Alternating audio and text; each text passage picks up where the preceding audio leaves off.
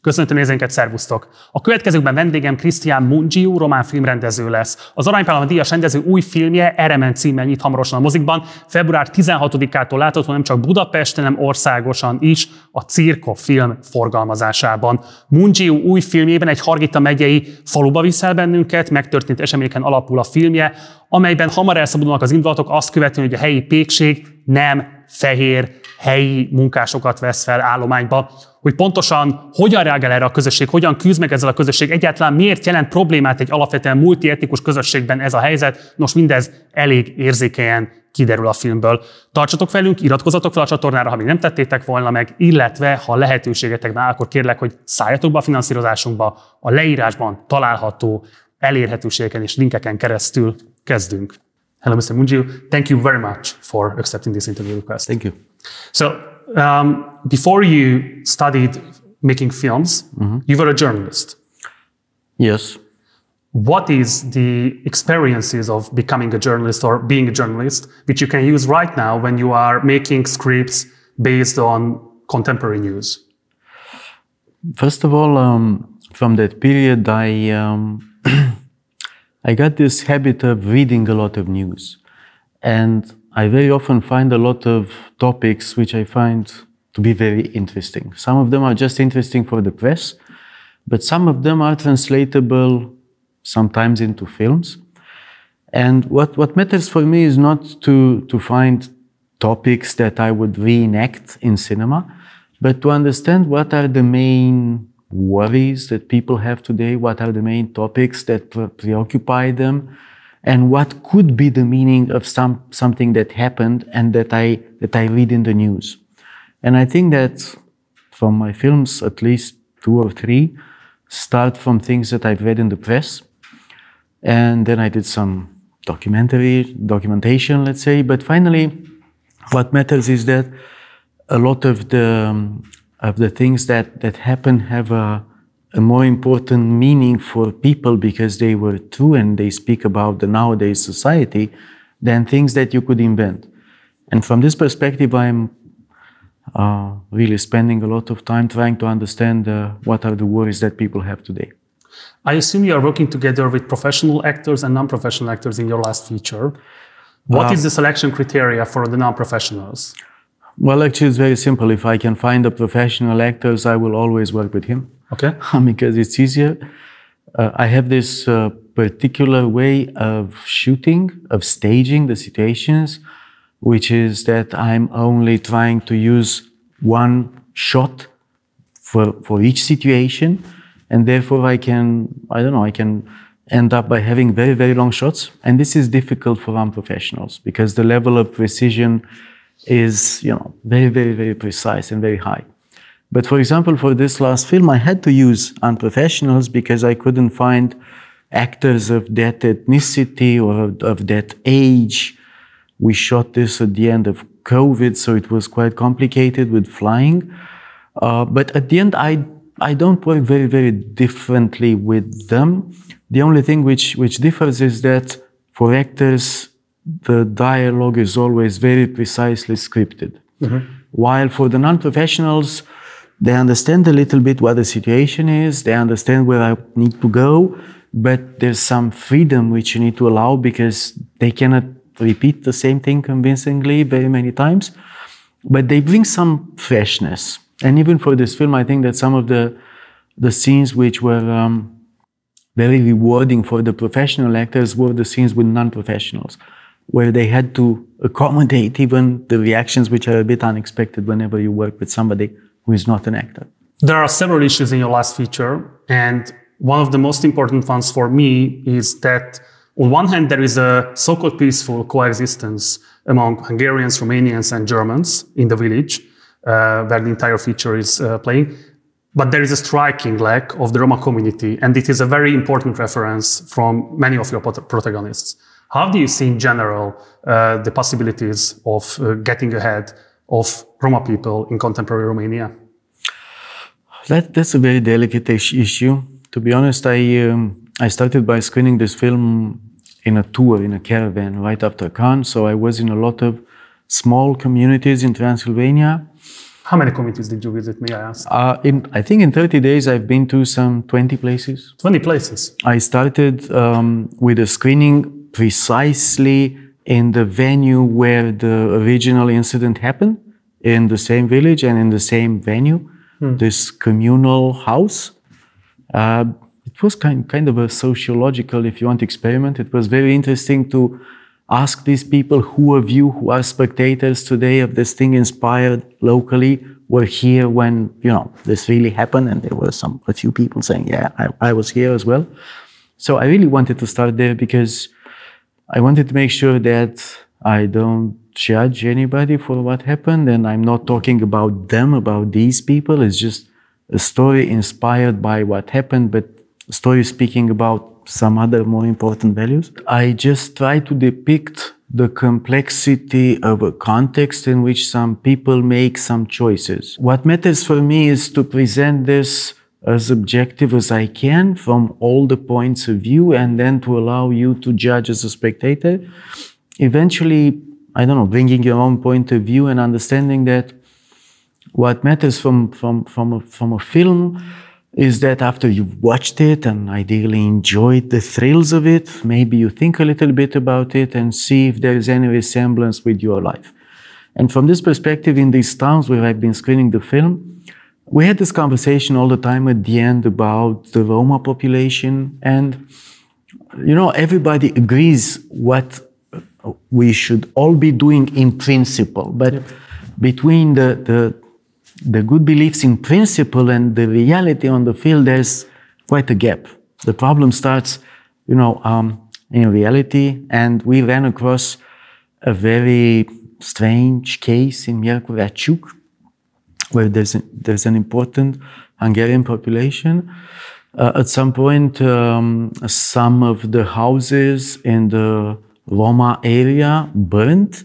Nobody can say how they burned, but let's say they just burned and the people had to be evacuated.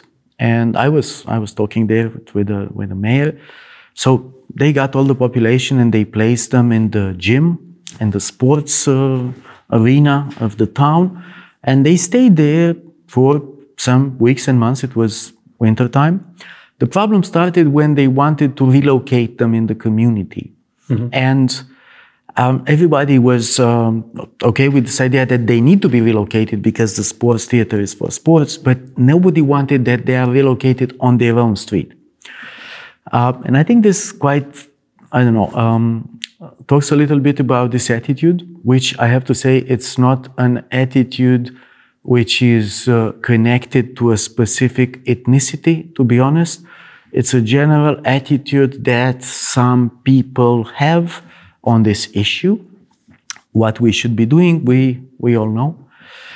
Uh, that, uh, I don't know, some sort of fight against this discrimination should be um, sustained more and with more efforts from an earlier age because these stereotypes and cliches that we all use about every other ethnicity start from a very early age. Mm-hmm. And unless you manage to fight this and to change this in the mind of children from an early age, they, it's very difficult to change it later on. Let's talk about the town hall meeting scene, because I think that's really a directorial masterpiece scene. So it's a one shot, almost more than 50 minutes long. I assume it was written word by word by you.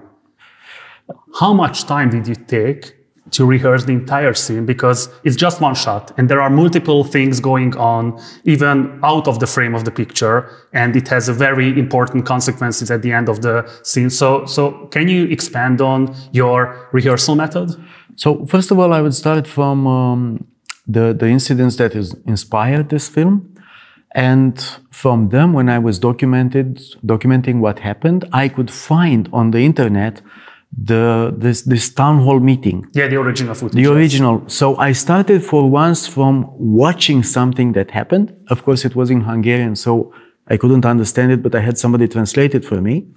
But when I wrote it, of course, um, what I could take from it is this kind of imprecision with with with with which people express themselves, and this kind of passing from one topic to another, and this need of always having an opponent somebody who must be guilty for something happening today. But as you can imagine, of course, finally I need to, I needed to write it down.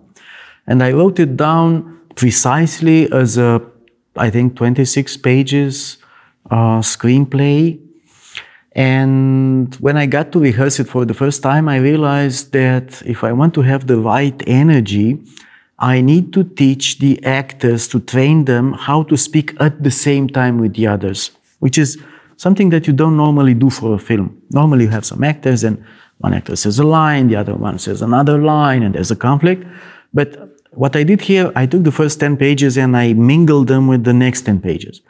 So I think that the best recipients for that scene are Hungarians from Transylvania who can understand both languages. Yes. Because actually, everybody speaks at the same time, and it's up to you to pick up what's more important for you and in which language. But finally, what matters is the feeling that at the end, this, if, if this is not reality, it could have been. And very many spectators who do not know how you get to work and to get to such a scene believe that it was recorded on the spot. Uh, and this is because um, we did another thing. I did another thing that you normally don't do for a shooting. I allowed for once the extras to express themselves. You know, the extras are always on a set and everybody shouts to them, shut up, the actors are focusing, let them speak. But you know, after we did this for 20 times, I said, well, actually, no, that, this time it's not like this. This time you should express what you feel.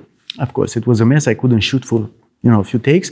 But you know, little by little, they learned that for once, this collective character that you try to have in the films, had uh, a very precise incarnation in themselves.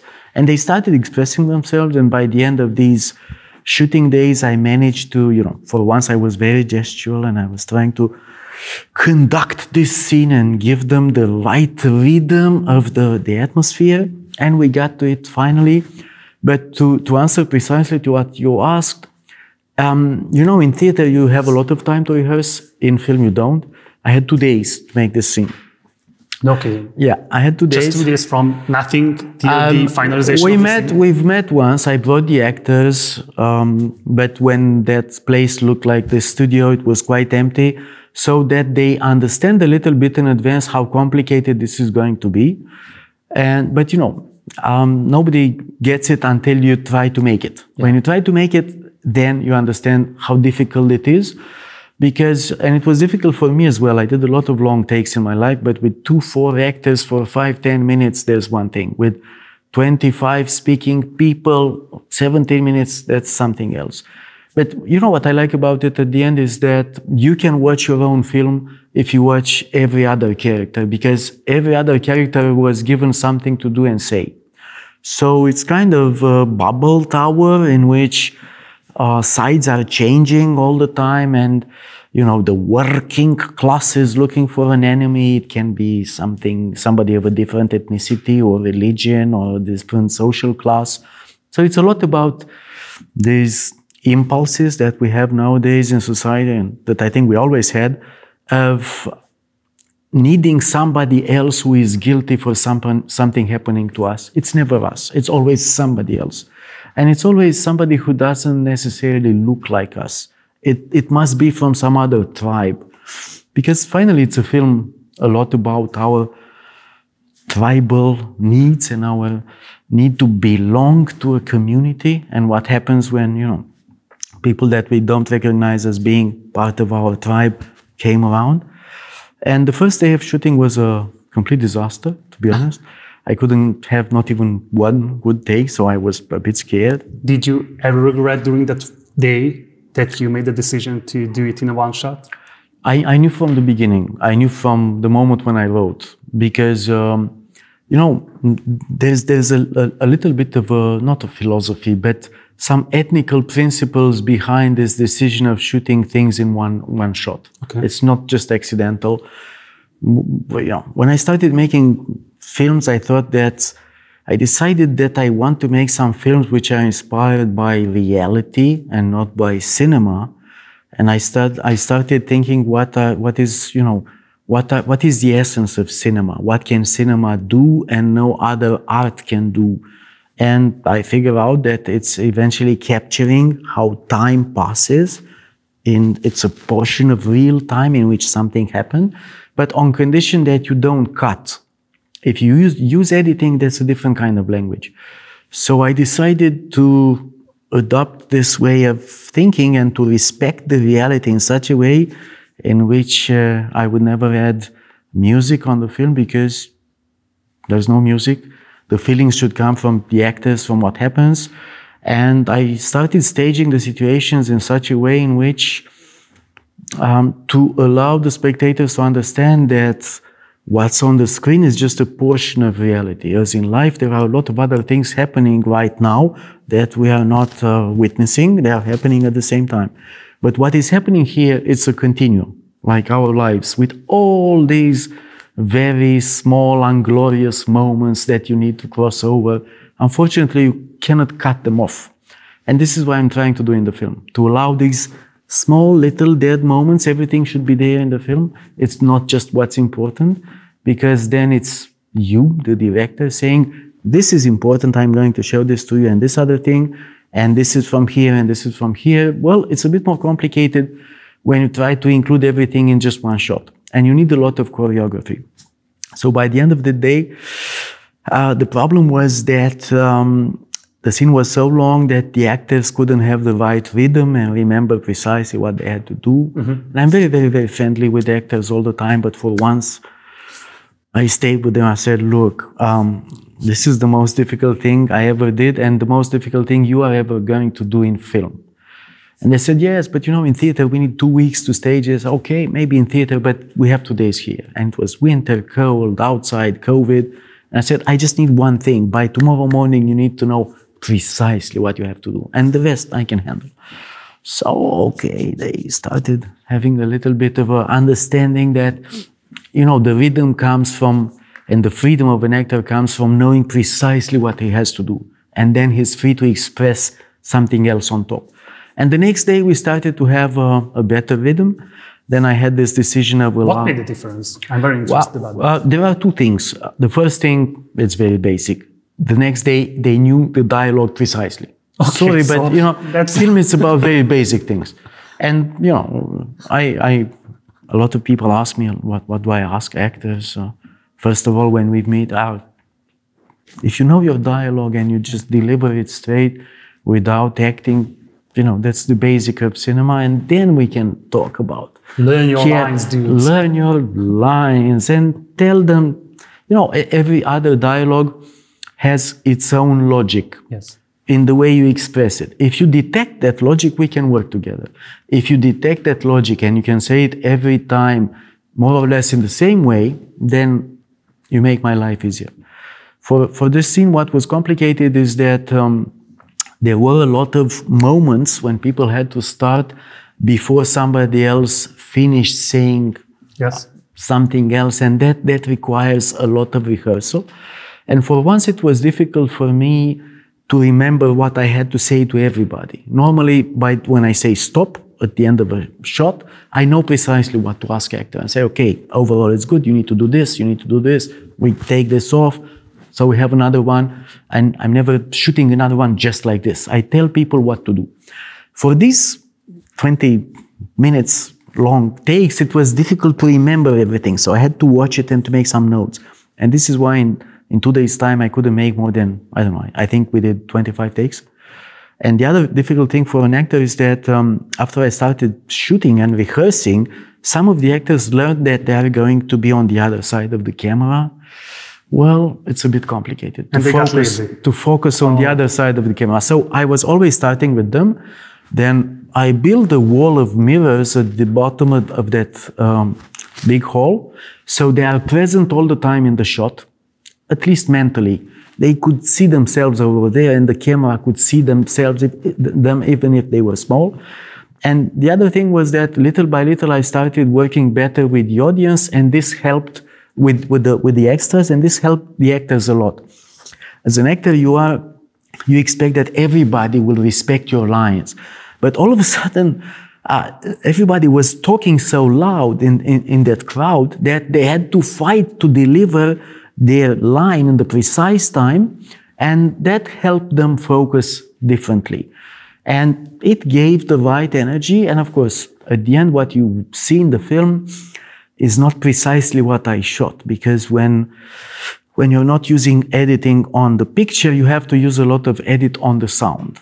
And you can do this on condition that people say the same thing every time. Mm-hmm. And then I can really take what was best from everybody. And then it became into a, I don't know, a, a small masterpiece from the mixer. I have a French mixer who was given uh, I don't know, 40 takes of sound from three different sound crews in Romanian, Hungarian, and German, and his French. I said, okay, you know, uh, we need to come out of it. And we, I think we spent one month only for this to make sure that I listen to everybody, I pick up all the good lines, and there's a mix in which every little other comment adds up to this situation and to this atmosphere that, you know, this is a community that could be that village, that country, but this country as well, and Europe and whatever village, wherever, hopefully. Thank you, Roger. That's very enlightening and interesting as well. Um, so, the international debut of your film was at the Cannes Film Festival, and there is this ongoing trend in the past five years that films selected in the official program ending up on Netflix or on other streaming platforms. Your film did not do that, and as far as I know, none of your films ended up on Netflix or other streaming platforms.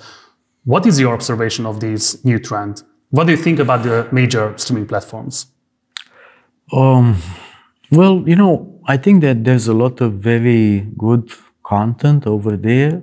This is not the problem. The problem is that um, the financing system for cinema was based for years and years on theatrical exploitation. This is how films were made. And now um, the legislation is behind this technological reality in the sense that um, if most of the films end up on Netflix nowadays and Netflix doesn't have the same kind of input on creating these films outside of their system, there's not going to be possible to create films out, outside of their system. And inside their system, there's a certain kind of films which are being created. They can, they can be very funny for a Thursday afternoon and, you know, they like having authors there. But we need to have some diversity and we need to preserve a sort of independent system of financing so that fresh voices and voices who do not depend on any decision from the producer still exist. But do you think that the major streaming platforms are threatening the aesthetical diversity of contemporary cinema? Well, they, they are not that they are threatening, but it's it's so easy to watch so much content for so little money, and from that content, of course, all the marketing principles would would I don't know tell you that you need to advertise primarily the type of content which is the most popular. So you ask me if my films are on Netflix. They are on Netflix, but you don't know because at the end of all this exploitation, 10 years later, my films are on Netflix, everybody could watch them. But they never pop up and come out if you don't uh, type precisely their name, because uh, it's not that kind of content. So it can be um, a very good opportunity on condition that, you know, uh, we manage to have, I would say, the political will to change the legislation, to negotiate with these platforms, to keep what's very good from these platforms, this easiness of access, but at the same time to understand that they haven't replaced yet um, the old traditional system of financing films. But what do you think about the aesthetical consequences? Because I think there is a very monoaesthetical outcome of Netflix or HBO and so on. So if you just take one frame from any kind of Netflix produced production, you can say, yes, it is financed by Netflix, it's produced by Netflix, it's distributed by Netflix. And I, I, I think it has an impact not just on the imagination of the audience, but also the imagination of the filmmakers as well. Well, it's it's it's a difficult moment for cinema if we have to. I mean, if we're serious, it's a very difficult moment for cinema because um, filmmakers don't. They are a bit puzzled. They don't understand which is the direction in which the things go on one side, it becomes easier somehow in some countries to make a film which is produced entirely by one producer with all the money from the beginning. You just make the film and you advance. On the other side, it's true that you're still struggling with that a lot. Yes, I, I, yes, I. What I do, I'm my own producer, so I finance my movies, and, but you know, I keep making films of two to four million euros to be able to preserve my freedom. That's all I can fundraise without having to involve, I don't know, streaming money or private money. It's just cinema money. And this allows me still to do whatever I think it's right for the film. And, you know, I wouldn't be too harsh on, on, on the platforms. They need to, produ- to produce content and some of it is good and the level of production is good. But they don't invest a lot, as you mentioned, in having some sort of diversity. Everything is standardized. And unfortunately, already people have uh, a certain kind of laziness, which you always have of discovering new things. You're tired, you want to make watch a film, you will go for the things that you know. Yeah. This is why they have genres in the American cinemas, and we don't really think in terms of genres. The first time when somebody asked me what genre is the film I want to make, I had no idea. I mean, mm-hmm. just wanted to tell a story. Uh, so there are opportunities, but at the same time, um, there's this big danger that if we allow this taste to be standardized, then there's going to be even less audience for anything else which is different. And we see this happening today as you probably know, uh, I don't know, all the distribution of what we used to call art house is, if not dead, is like, I don't know, dying. Uh-huh. It's very difficult to nowadays. And why? Because um, we still want people to come out and watch a film in a cinema, a mm-hmm. film for which they need to pay a lot more than uh, if they watch a film at home on their couch, just changing the channels. Because this system of financing is not yet in place. And uh, the result is that the audience for art house films has dropped significantly, and uh, I think that people will need to be very, very selective about what they, they, they will finance in the next years. But do you follow any major series coming from HBO or Netflix? So, for example, there is this huge hit called Last of Us.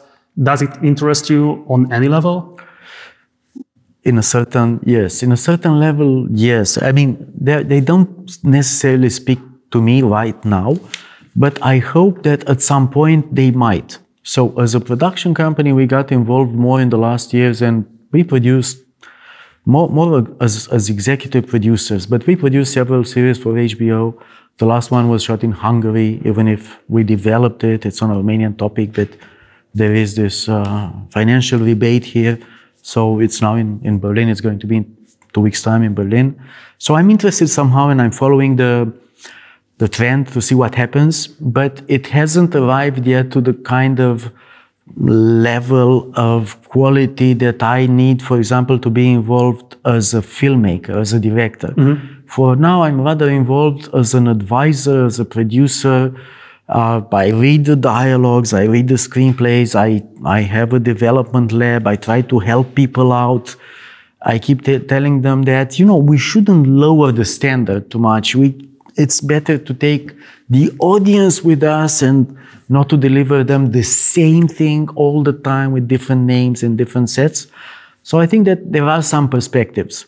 And the perspectives that I'm interested in is of producing things in some, I don't know, local languages that would still have an impact and would be interesting enough for some other people to watch. But the basic condition is that those uh, filmmakers working for these platforms understand that they still need to have a personal voice and uh, not to accommodate the needs of the platform and became standard filmmakers which are replaceable all the time one with the other. But do you think any particular filmmaker has this kind of a freedom to, you know, engage in a discussion with the producers, with the owners of these big companies, and negotiating with them that what kind of an aesthetics would be the best solution for that particular film? It's always coming from people having enough notoriety to, I don't know, to have these conversations. I'm sure that if Coppola wants to uh, say, I'm going to do this my way, uh, they will be very happy. And probably if Nicolas Winding Refn, who finished now a series, uh, wants to do something, they will respect his point of view. So the idea Filmmakers is should use their authority. they, Yeah. they should use their authority because they don't speak just for themselves. They speak for the directors of series, and they should try to uh, advocate the expansion of the uh, of this um, freedom of creation a little bit more for the others as well. Because this, you know, there's there's great difference between what we do in Europe and the kind of cinema they that they do in in, in the American uh, on, on in the American cinema is that here still the the filmmaker is the author of the film, while there the, the decisions belong to the producer, and you need to understand that given their system of just private money, that's fair. But you know the platforms are uh, and the series are now somewhere in between. They came over here, but they try to come over with that system because they finance things. But here, authors things in a different way, and I think that some more freedom needs to be there on condition that, of course, you hire the right uh, filmmakers for the for the series. There are other trends which I'm interested about your opinion. So there are there's TikTok, there is YouTube. This video will be placed on YouTube as well, um, and it has a kind of a fake democratic pledge that we are accessible. We are so there are no struggles for you to get any kind of a content from anywhere anywhere of the world. Uh, but these contents have very little touch with the daily re- reality of these uh, viewers. So, for example, I would love R.M.N. to be placed and released, not just in Budapest or outside of Budapest, but in mid-time towns, villages as well. But I think those people who are used to YouTube videos and TikTok videos are, so there is an aesthetical barrel uh, in front of them, giving the enough, you know, patience, giving the enough time to be involved in the movie and, and watch it. So what do you think about this kind of a contradiction that it would be nice that people who are not used to this kind of an aesthetics would see this movie, would watch this movie, but unfortunately, I think this will not reach them. I, I know, and I'm, I'm very preoccupied by this. Um, for now, you know, the film will reach these people at some point. All these films which need to be released theatrically at the beginning will end up on these platforms after the theatrical release is finished. Uh, problem is that most of the um, spectators who lost the habit of watching a different kind of, of cinematic language in the last 20 years uh, will receive with some difficulty something which differs from what they watch every night. But this is very difficult to change because this, this involves, if you want, an intervention um, at an earlier stage in their development as cultural people and exposing them to a different kind of content as well. And like always, we get back to education. For example, if in school by, I don't know, by the age of 16, you have watched the, let's say, 100 more important films in the uh, history of cinema, and you've learned that it started by being without sound and kind of slow, and it developed, and there's a language, you might later on, I don't know, appreciate that some people have personal points of view and you'll have the patience to watch them. If you just watch Pixar films because your parents put you there in front of the TV from age three so that they can do whatever, and you watch that kind of very, very, very fast rhythm with music playing all over from minute one to the last one and cuts every two seconds. Oh, I don't know, when you turn 16, you, you, you, you cannot be converted any longer to it's a beautiful life. Yeah. That's not going to speak to you. So, But- but, you are saying that film directors should lobbying at governments to put uh, movie history into the curriculum, just as they do with world literature, for example. Yes, but you know, uh, it happens that we live in this part of Europe where we have a lot of priorities and we have a lot of, you know, politicians to whom it's very difficult to, to express and to, I don't know, to advocate even more important and urgent matters. And as you know, in these countries, the culture is never very popular or the culture which is not connected with ideology, to be honest. That culture, which is like the official culture, is always going to be supported. This kind of culture, which doesn't have any agenda, is not necessarily very popular among filmmakers. But this effort needs to be done by a lot of different institutions. It's not just the filmmakers, because the filmmakers don't have enough power to do this. It's the film festival, it's the film lovers, it's the cinematheques, it's the schools, it's the art house theaters which are still left. All these institutions, together with even some, I don't know, smaller TVs and TV chains, could invest a little bit into preserving this kind of diversity in cinema. Because, you know, cinema, it's a very ambiguous term, but it doesn't just mean entertainment. Even if it was born from the circus, if you want, and it means entertainment in a certain way, it turned, it developed into a language in which some people can express some ideas only with this language and not with another. But, you know, it's um, as complicated as any educational process. But do you think that artists should cooperate more and engage themselves more into politics in order to get rid of the market and get necessary funds from the states and make the decision makers understandable understand why it's important to to to put more state money into the activities of these kind of uh, aesthetical practices for example you know we invested a lot of time into doing this back home in romania i have to say that what whatever you know when when we we talk about this uh, so-called romanian new wave the result for this is that we invested a lot of time into changing the cinema law, the cinema financing system, and all of a sudden it was possible for some 10, 15 years for a lot of younger people to make their debut in film. And there's still a system that appreciates more or less what you did before and that would give you some chances to continue. And of course, um, there is some sort of European solidarity, if you want. Mm-hmm. And there are always people trying to change the legislation. And for example, there is a regulation about Netflix, because we were talking about this, and not only about them, about streaming platforms. The European Parliament adopted this regulation that they have the obligation to invest a certain part of uh, their revenues in a territory in producing local content which is what the European Parliament could do. That's very good. It's just that this share is, was implemented by, for example, the French Parliament as a 20% share from, you know, whatever they spend in France, while the lobby in Romania was so that we have just 2%. Okay. You know, they have 20% of a big pie and we have 2% of a tiny pie. So uh, yeah. it's not always easy to make this, this, this lobby, but of course it's very important. What's striking as well that there are very few co-productions, collaborations mm-hmm. among uh, nation states and directors in Romania and in Hungary. And I think it's very interesting that your film is partly Hungarian because uh, many actors are uh, speaking um, in Hungarian. I think it will be very interesting for the Hungarian audiences in Hungary and in Romania as well. Um, what, how do you see uh, the collaboration among these two states. So, what do you think about this situation? Why are we so isolated from each other, despite the fact that we are living next to each other? And still, among the liberal bubbles in Hungary, there are very harsh anti Romanian sentiment.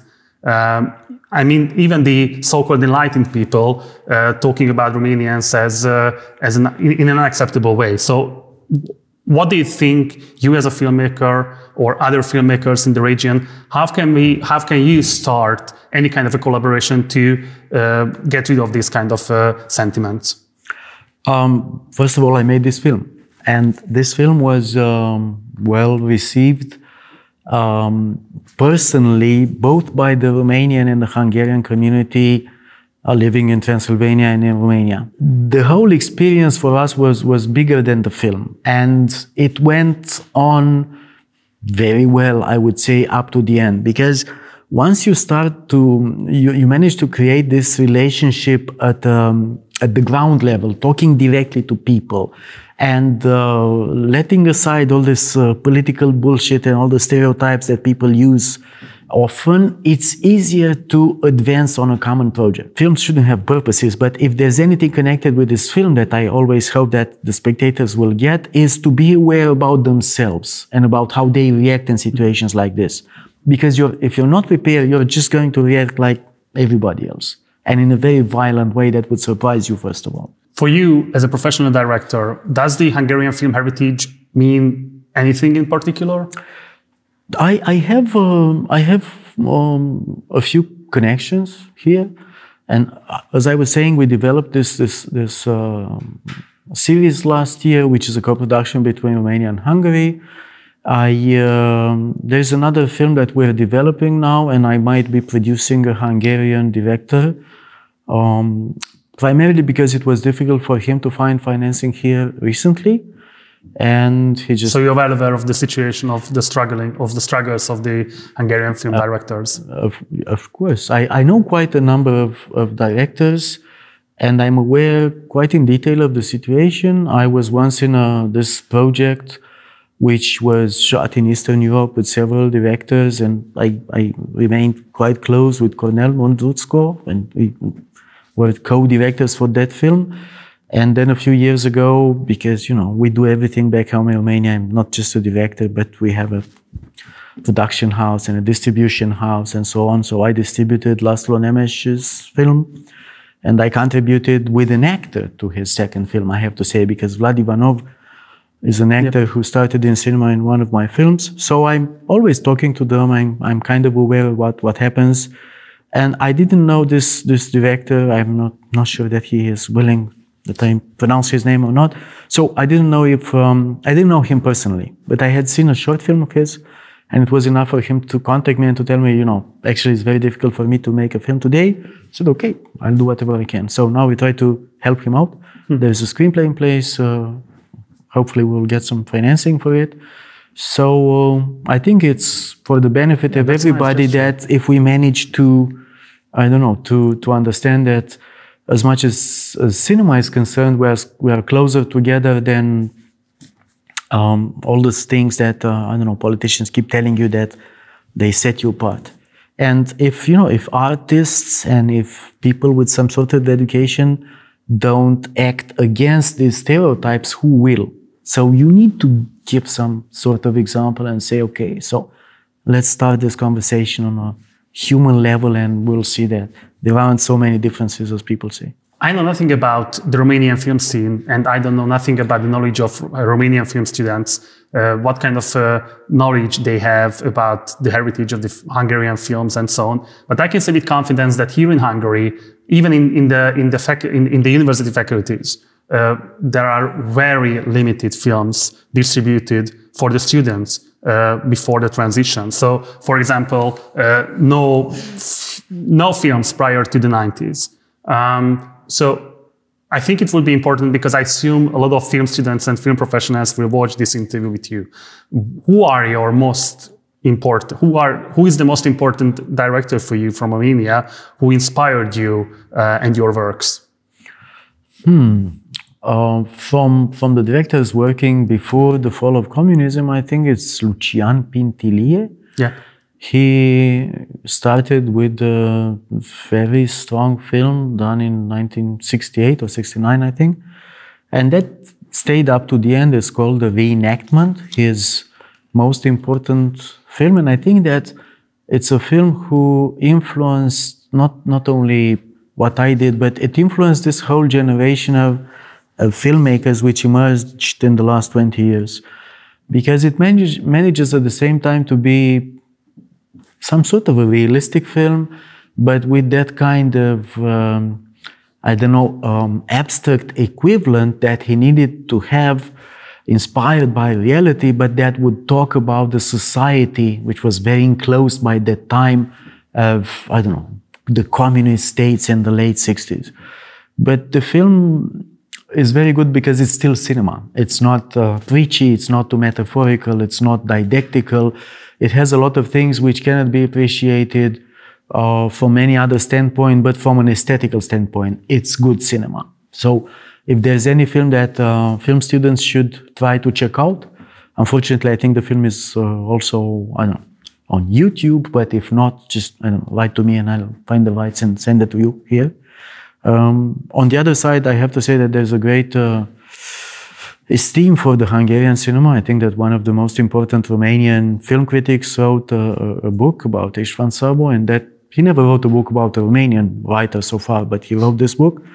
And while we were students there, and the students even from today, they continue studying a lot of Eastern filmmakers. Uh-huh. Because our feeling by the end of uh, the communism was that I don't know, there were um, the, the films coming from Hungary, Czechoslovakia, and Poland were somehow stronger than the films that we produced. I don't know if it's a matter of censorship or not, but it was difficult for the Romanian filmmakers. They were struggling to express themselves without a lot of interference from, from the censorship. It's well known that your sister is an internationally acclaimed uh, political scientist. Um, she is a liberal icon in Romania and in the international field as well. And a lot of female protagonists in your movies are well educated, well informed, um, they have Western attitude and so on. So I assume that she had an enormous impact on how you perceive your female protagonists. Am I right? That's uh, that's very interesting. I think that she had some impact on what I do now and on my education, but I wouldn't say that it's a, it's it's a direct impact on how I write about my protagonists because uh, she has moved some 15 years ago to Berlin. So unfortunately, we don't spend too much time together. But she had a major role in my decision of becoming a filmmaker, to be oh. honest. And she was the one who um, helped me um, follow her at this uh, students' newspaper, which later on brought us into, I don't know, working a little bit in the press. So she had uh, an important influence in, in my development, let's say. Um, but um, later on, when I started writing a lot of female characters, I was always trying to be close to some existing model that I knew, either from these, you know, real cases that I was documenting or from people that I knew personally, and always trying to be very close to reality and not to have patterns of characters. So um, I, am always trying when I finish the screenplay to make sure that none of the characters is, I don't know, flawless or acting too well or too coherent evenly because you know there's there's there's some sort of ambiguity which is connected with reality and it's good to preserve this in the film as well. Mm-hmm. So I, I, try to make sure that none of the characters are fully coherent because uh, that's more I don't know a sort of demonstration and not cinema and including the female characters and including this last character from RMN. Um, hopefully she's, I don't know, complex enough and uh, she has this kind of uh, needs like for affection and these emotions which are not always very rational. And like every other character in the film she makes a lot of choices which are not clear from the beginning. Because i have to say that uh, the degree of ambiguity that um, I wanted to have in this film is, um, I don't know, generated a sort of, of, symbolism that I never meant. But for some people, it's difficult at the end to understand precisely what's with these bears and what happens at the end. Are these bears or are these people? And it, it's important because some of it was um, meant to be there. As long as you want to make a film about I don't know, human nature and our animalic side, it's important to find a way in which um, you show these things. And um, all the ideas that you want to pass on are not only on the verbal level, because this is why this is a film. Uh, because some of it needs to be expressed, and the most difficult thing for filmmakers is to express abstract ideas through situations and visual things. And this is why this film has two different la layers of animals. We have a lot of bears uh, talking a lot about this, uh, this need of taming, first of all, the animal inside you. And we have a lot of sheep in the film. And this speaks also, you know, the sheep is even more complicated because it starts from the lamb and this kind of purity and innocence associated with the child, which is before education and has access to a different level of the world and ends up with something that is very interesting for me this process in which some people transform themselves at some point when they lose personal opinion into a little element into a herd uh, and they conform to the opinion of the majority and they lose their individuality completely and i was very interested in trying to study this in the film and there are some other animals for which I uh, add a very important Hungarian input, so to say. People ask me if I was so lucky that these, uh, you know, there's there, there's a fox in the film. Yes.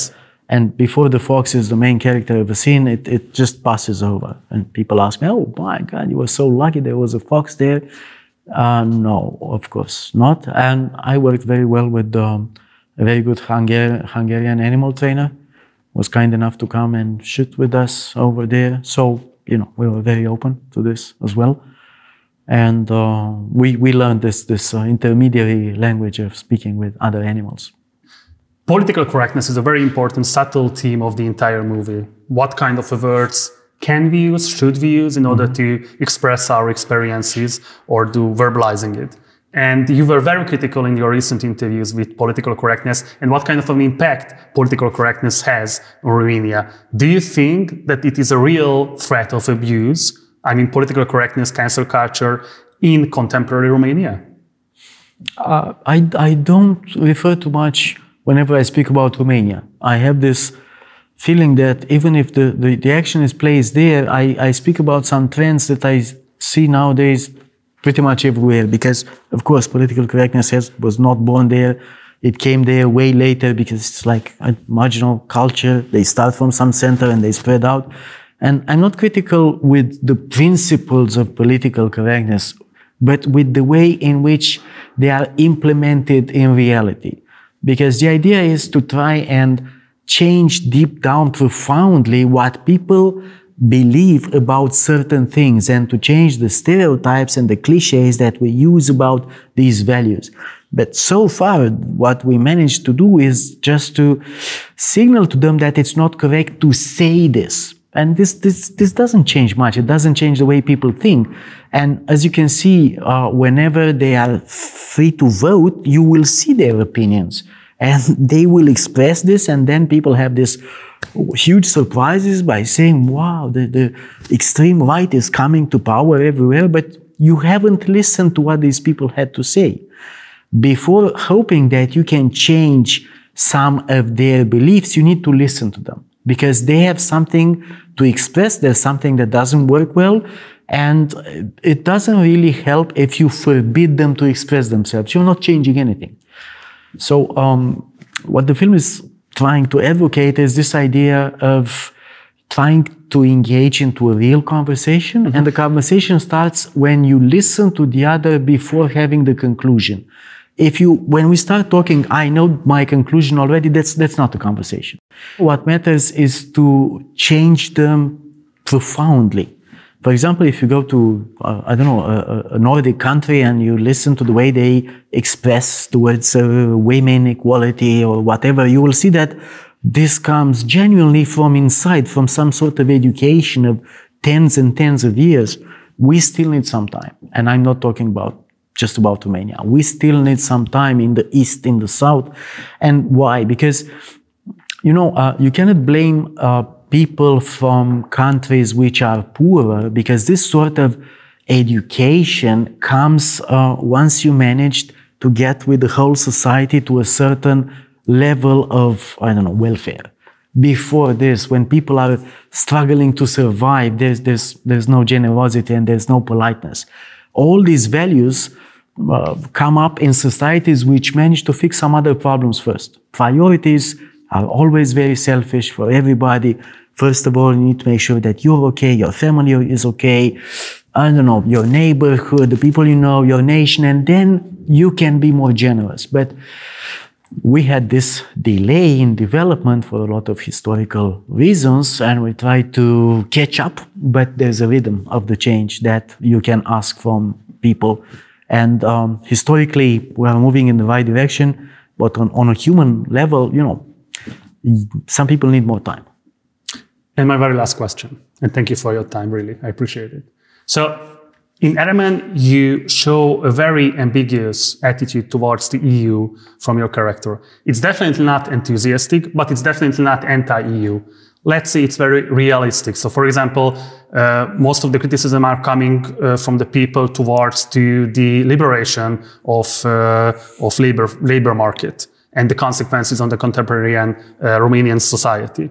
And 21 year ago, when your first feature came out, Occident, I know your uh, mixed feelings towards that film, but but it had a very pro-Western attitude, a very um, let's say enthusiastic attitude um, in a subtle way, but I think it definitely was pro-enthusiastic. Um, so what changed in the past 20 years to reach this kind of a level um, in relationship towards from Romania to the EU? Because I think it's it has some similarity uh, with the general attitude towards uh, the EU from Hungary. It's definitely not anti-EU, but it's very mixed right now. Um, first of all, these these attitudes in the film are, if you want, more quoted. I was trying to see what is the attitude of the people living then, 22 years ago, and what's the attitude of people living now. Of course, some of my attitude is included, but not too much. I try to understand what is the trend. And you can understand why there is this difference because we were all very naive, if you want, when communism collapsed, and we had a lot of hopes. And one of the hopes was that our societies were going to change, to change in a very fast rhythm. Uh, if you remember, we used to have these, these very funny ideas in the communist times. Uh, they, we were measuring in time how time do we need to catch back with the, the Westerners. Yep. Of course, you're never going to to catch back somebody who started being educated 1,000 years ago. So the idea is that people are disappointed today because the level of that change hasn't reached what they expected 25 years ago or 30 years ago when communism collapsed. And it's, it's, you know, this is not black and white. On one side, uh, the best things that happened, and I won't refer to Hungary, but the best things that happened to people in Romania was that we became part of European Union and these people can work somewhere now and earn their living. Uh, at the same time, they are disappointed that they cannot work at home. And there's, you know, there, there's this, this phenomenon of migration in Romania uh, got these huge proportions. We lost nearly three to four million people living abroad, and in this freedom, that's just going to be, uh, you know, a territory without population. And this is because, of course, uh, the changes couldn't cope with the expectations. There are improvements, that's clear. And historically speaking, speaking, probably we did in all these eastern countries whatever we could given the situation. But we live on a human scale. On a human scale, it's still disappointing. We wanted, you know, more changes and a better situation so that you don't have to go somewhere else. And there's also something else associated with, with the European Union, both in Hungary and in Romania. This idea that a lot of the ideas are good, valid, and very generous, but the way they are implemented is somehow naive at some point because there's a huge distance between an office where the decisions are taken and what really happens on the field. And on the field, you cannot apply the same measure always for everybody living from, I don't know, Finland to Hungary to Portugal. There are differences. It's like, you know, how people used to advocate this idea of co-production. You ask me, why don't we make more films together? Well, you know, it, it's nice to think about Europe as just one body, but it's, it's, it's not like this. We have a lot of common values, and it's very good that we have them borders. We have no, you know, borders. People won't hammer each other in the head for passing from one side to the other. But at the same time, there is a national culture everywhere. There are languages and religions, and you need to understand that some things will always remain national, as film, as things depending on I don't know, on, on, on verbal uh, expressions. There are a lot of traditions and so on. And um, this is a complicated process, which, and, you know, people making decisions for everybody at the same time should try to match them with the particularities that every other small country or county has in Europe. Mr. Mungiu, thank you very much for the interview. Thank you. Thank you very much for your time. Thank you. Ez volt a beszélgetésem Krisztián Mungiuval. Az Eremen című filmet február 16-ától láthatjátok a mozikban, országosan és nem csak Budapesten érdemes megnézni. Mindenképpen iratkozzatok fel a csatornára, ha még nem tettétek volna, meg ha bármilyen kérdésetek vagy kommentetek van az elhangzatokkal kapcsolatban, akkor a hozzászólások között várunk itt a videó alatt. Ha megtettétek, kérlek, hogy szálljatok be a finanszírozásunkba a leírásban található linkeken keresztül. Én Gulyás Márton voltam Budapestről, kollégáim nevében is köszönöm szépen a figyelmeteket. Hamarosan újra találkozunk, addig is ciao.